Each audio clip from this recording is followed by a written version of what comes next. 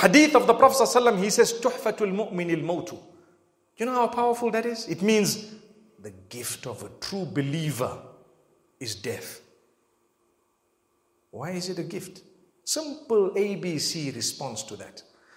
Allah promises you when you do this, I'll give you this reward. When you fulfill your salah, I'll give you this reward. When you do your sawm or fasting, I'll give you this reward. I'll reward you, multiply it by so much, and I'll multiply it. And when you stay away from sin, I'll multiply it. When you when you do something wrong and you engage in istighfar, I will still write that for you as a reward because you sought forgiveness from us.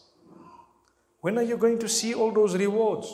When are you going to get all those rewards? Imagine the teacher tells you at school, okay, you are first in class, you're going to get a prize. You keep asking the teacher, when is the prize giving? They tell you, 27th of November. You can't wait for 27th of November. When the date comes, you have to get yourself to the school and make sure when your name is called out, you walk up on the stage to collect your what? Collect your prize. If you don't want to go to the prize giving, how are you going to get it? You know you're going to get a prize, but how are you going to get it? You refuse to go to the function or you don't want to get up on the stage.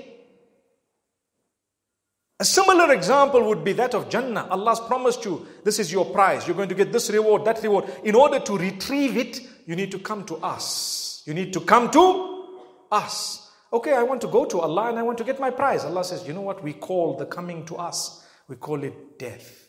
Allahu Akbar. We call it death.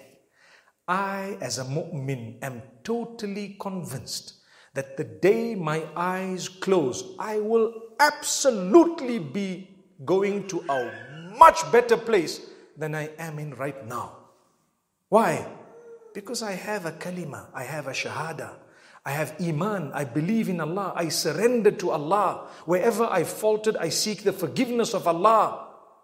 And I try my best. And I'm just a human and Allah knows He's created me as a human. If Adam alayhi salam fell and sought forgiveness and Allah forgave him, if I were to fall and seek forgiveness, do you think the same Allah is not going to forgive me? I'm convinced I'm going to a better place. I can't wait to get back to Allah. It's going to be superb. It's going to be amazing. I've heard that He is Ghafoor, Rahim, Rahman, Wadud, most forgiving, most passionate, most kind, most loving.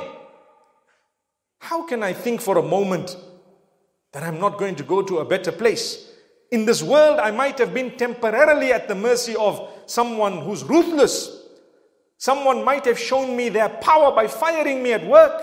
It's a loss. Someone might have shown me their might by abusing me. We tell them, Oh Allah, they are showing us their might. You show them your might. Subhanallah. You never go wrong.